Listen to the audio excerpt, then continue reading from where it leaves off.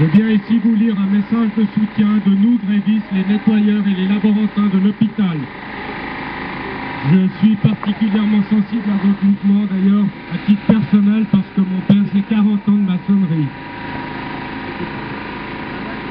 Les nettoyeurs et les nettoyeuses, les laborantins et laborantines des HUG en grève depuis le 10 novembre pour obtenir la reconnaissance et le respect que leurs fonctions méritent à présenter et affirmer leur solidarité aux maçons en lutte pour que cessent les pressions patronales, notamment sous forme d'un dumping salarial et du refus de signer votre convention collective de travail.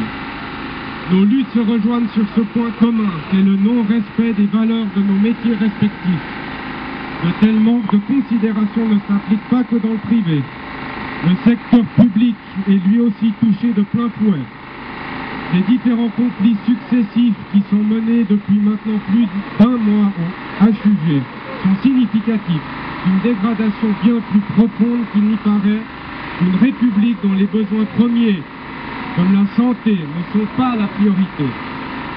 Les réponses qu'apportent les directions ou patrons en s'attaquant directement aux délégués ou représentants syndicaux sont symptomatiques du mépris qu'ils portent aux partenaires sociaux.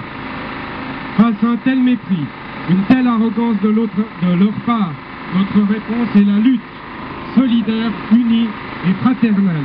Les grévistes et HUG. Tous ensemble